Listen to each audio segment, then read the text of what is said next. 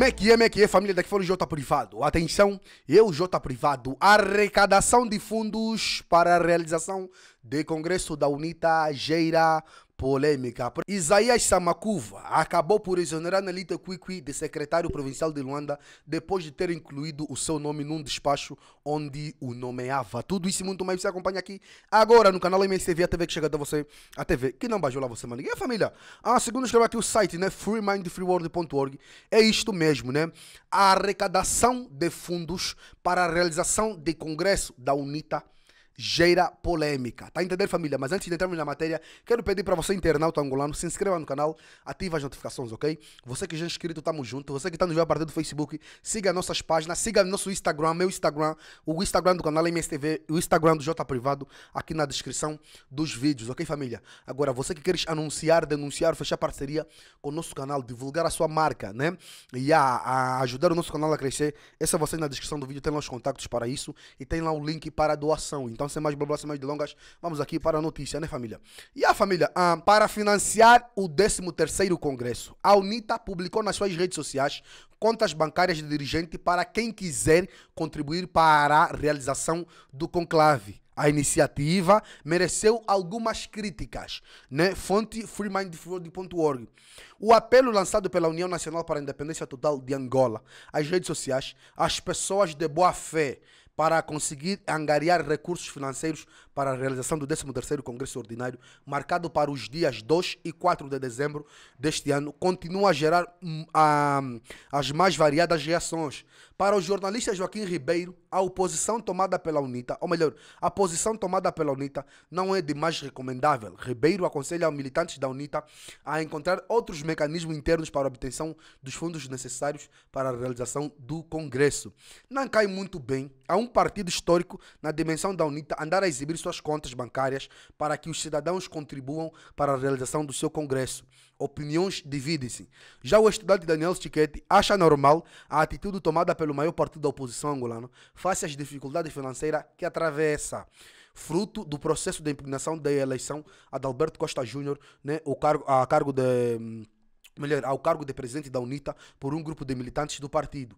Eu penso que eles estão perturbados e essa preocupação remete-se à situação de terem que solicitar ajuda do povo, porque eles precisam realizar o congresso, explica o estudante. O ativista cívico José Carlos Daniel não vê qualquer normalidade na ação da UNITA em recorrer ao apoio financeiro da população para a realização do congresso, mas alerta para o que o caso pode significar para a sociedade angolana. Aos cidadãos ao contribuir para o Congresso da UNITA, também estão a passar uma mensagem muito forte, quer a UNITA, quer a sociedade, porque no geral não é papel dos cidadãos fazerem essas ajudas, sobretudo para um partido político disse a DW África, o pedido dos cidadãos. O deputado da Assembleia Nacional para a bancada parlamentar da UNITA, pelo Círculo Provincial do Ambo, Delfim Eduardo Dumba, salienta que o processo de contribuição aberto pelo seu partido nas redes sociais não fere a Constituição da República, a lei dos partidos políticos ou os estatutos da UNITA. Dumba disse que a direção do partido decidiu tomar a iniciativa porque recebeu inúmeras solicitações dos cidadãos apostados ah, em apoiar na formação a formação política. Há correntes vozes contrárias a esta circulação. Há campanha contra a contribuição livre e espontânea dos cidadãos. Há quem diga que houve uma imposição, ah, o que não faz sentido, acrescentou. Começa nesta quarta-feira ou nesta quinta-feira, uh, dia 4 do 11, a apresentação de candidaturas à liderança do maior partido da oposição em Angola e o calendário dos preparativos para o conclave, no qual serão eleitos os novos dirigentes da UNITA depois do acordão do Tribunal Constitucional que anulou as decisões tomadas no 13º Congresso realizado em 2019. A direção uh, que daí resultou. O Tribunal Constitucional deu razão a um alegado grupo de militantes da UNITA que apontaram irregularidades como a dupla nacionalidade de Adalberto Costa Júnior, a data né, da apresentação da sua candidatura às eleições do 13º Congresso. A UNITA considerou o acordão do tribunal ilegal. Fonte, né, a Free Mind Free World org, né, família? E a família, segundo escreve aqui o site Novo Jornal, é isto mesmo. Isaías Samacuva acabou por exonerar Nelito Quick de secretário provincial de Luanda, depois de ter incluído o seu nome num despacho onde o nomeava.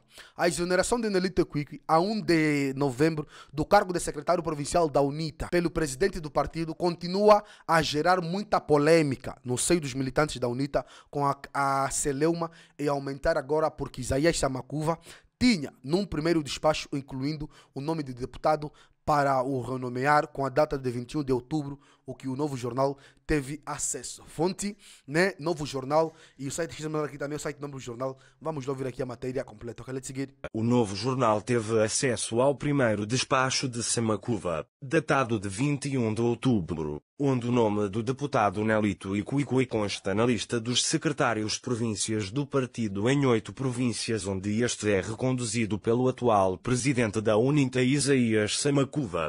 Apesar deste documento estar carimbado e assinado pelo presidente Samacuva, que reassumiu o partido após a anulação do Congresso, de 2019, pelo Tribunal Constitucional, TCE, e onde Adalberto Costa Júnior tinha sido eleito, não chegou a ser validado. O que foi revelado como oficial, e onde Nelito e Cuicui é exonerado, tem data de 01 de novembro, o que demonstra que entre uma data e outra, menos de duas semanas, o líder do Partido do Galo Negro mudou de ideias. Segundo um dirigente da UNITA, que pediu para não ser identificado, a exoneração do ex-secretário provincial de Luanda surpreendeu vários membros da comissão política. Como podem ver, no primeiro despacho o Nelito constava, no segundo já não. Por que razão não sabemos, Somente o presidente sabe, disse a fonte. Esta fonte sublinha que este episódio não vai importunar o partido neste momento porque existe uma convicção generalizada de que o 13, Congresso Ordinário, marcado para 2 a 4 de dezembro, vai garantir a reposição da normalidade alterada pelo acordo do TC. Foi de facto um golpe duro, a exoneração de Iquiqui, mas temos confiança no futuro e sabemos que as coisas irão voltar à normalidade como estava antes do acordo do Tribunal Constitucional. O tempo o confirmará, salientou. O deputado Nelito Iquiqui é um dos militantes em clara ascensão na UNITA liderada por Adalberto Costa Júnior nos dois anos anteriores ao acórdão do TC, devido à sua presença continuada nos media e porque, nas eleições gerais de 2017, conseguiu dois deputados na província de Luanda, o que nunca aconteceu nas últimas três eleições do pós-guerra.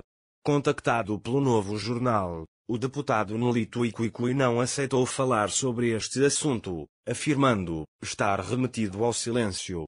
Porém, nas redes sociais, escreveu que está disponível para todos os desafios. Eu continuarei servindo o país e o partido de várias maneiras, em várias frentes. Os cargos não devem nunca ser eternos. Pelo contrário, devem existir dinâmica e rotatividade.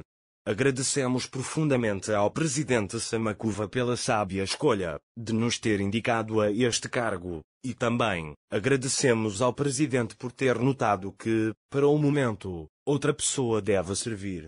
E nós estaremos aqui sempre disponíveis para qualquer missão que nos for incumbida pelo partido.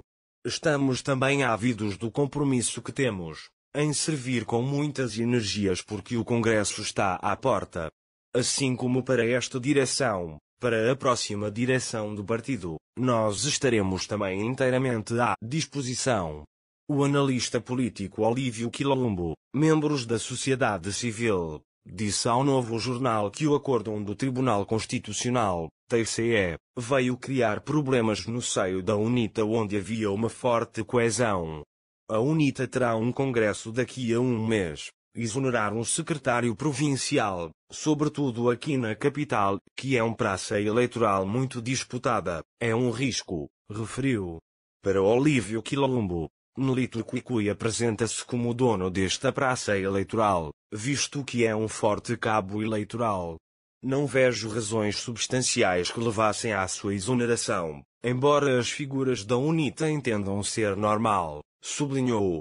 Também ouvido pelo novo jornal, Ernesto Mulato, deputado da UNITA, disse que o regime do MPLA pretende dividir o partido. Mas isso não vai acontecer, pelo contrário. Estamos, cada vez fortes com estas manobras criadas pelo MPLA, disse. E a família, o vídeo de hoje foi esse. Se as culturas sabem o que fazer, se inscreva no canal, ative as notificações, partilhe o vídeo, comenta porque isso é notícia. Vocês não sabem, estão a parte de nós, então é notícia. A nossa campanha para aprender família de Santos, para aprender família neta, família de Lu continua. Os nossos contatos para parceria, divulgação e denúncia estão na descrição dos nossos vídeos, que essa opinião que é muito importante. É tomar lá até o próximo vídeo. MSTV, a TV que chega até você, a TV que não bajula você, maniga.